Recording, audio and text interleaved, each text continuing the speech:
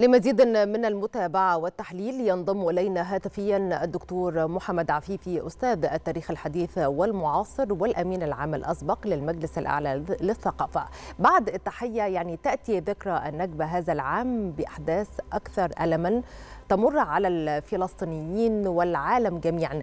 كيف ترى ذلك في ظل المعاناة التي يعيشها الفلسطينيون من تهجير قسري وتدمير لحاضرهم ومستقبلهم؟ والإبادة الجماعية التي نشاهدها يوميا.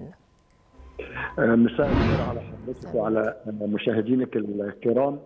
بالحقيقة الربط اللي جه في التقرير بتاعكم في الحقيقة عن تواصل النكبه منذ حدوث قيام إسرائيل 1948 مايو 1948 وحتى حرب غزة الأخيرة اللي هي في الحقيقة بتعتبر نكبه ثالثة بالنسبة للفلسطينيين بعد نكبه 67 الاستيلاء على الضفة الغربية على القدس الشرقية.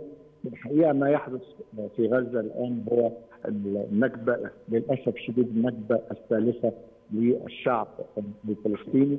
وسط أقول غياب للضمير العالمي الإنساني في الحقيقة.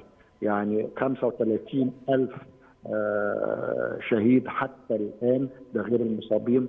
يعني ده تكرار للنكبة الأولى في 48 والنكبة الثانية في 67 والنكبة الثالثة الآن. نعم الدكتور محمد عفيفي أستاذ التاريخ الحديث والمعاصر والأمين العام الأسبق للمجلس الأعلى للثقافة كنت معنا عبر الهاتف. شكرا جزيلا لك.